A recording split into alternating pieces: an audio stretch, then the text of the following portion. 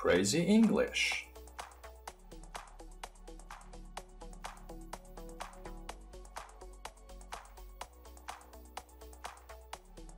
Please like or subscribe for more videos.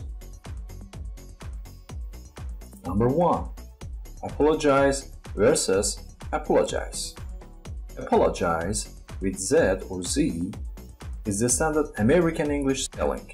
Apologise with S is the standard British English spelling. Number 2. I'm done versus I've done. Usually, I've done would require an object like done what? Precisely. And I'm done would signify that one was finished with a task.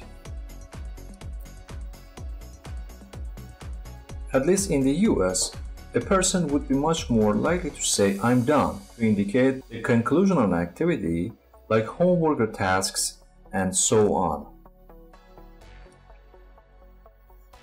Number 3.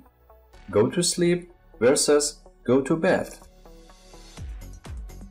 Go to sleep, to fall asleep, or go to sleep at the same hour every night.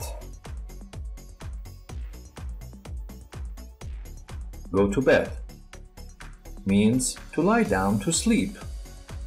Put oneself in one's bed. Example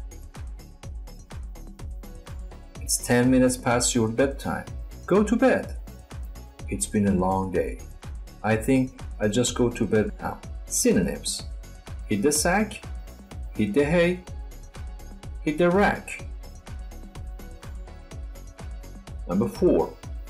Practice versus practise. Practise with S is a verb. Means to repeat an activity as a way of improving one's skill in that activity. Example You should practice playing the piano every day. Practice with C. It's a noun. Repetition, an activity to improving a skill. Synonyms Rehearsal, drill, exercise, training, trial, workout. Example He will need lots of practice before he performs. Number 5. Let's versus lets. Let's with apostrophe s and lets are based on the same verb. Let, which means to allow or give permission. Let's with apostrophe s is a contraction of let us you use it to make suggestions about what you and someone else should do. Lets is the third singular present tense form of verb let, which means to allow or give permission. Let's means let us, like let's go, let's buy, let's speak.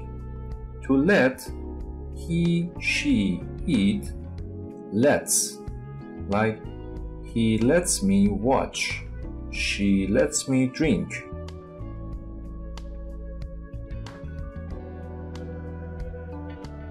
Number 5. Take shower. Versus have shower. Take shower or have shower or shower or all equivalent. Take is probably the most common form in American English. Have a shower in British English.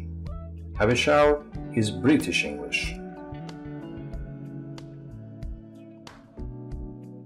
Get a shower could be used to mean take a shower despite constraint of time or opportunity.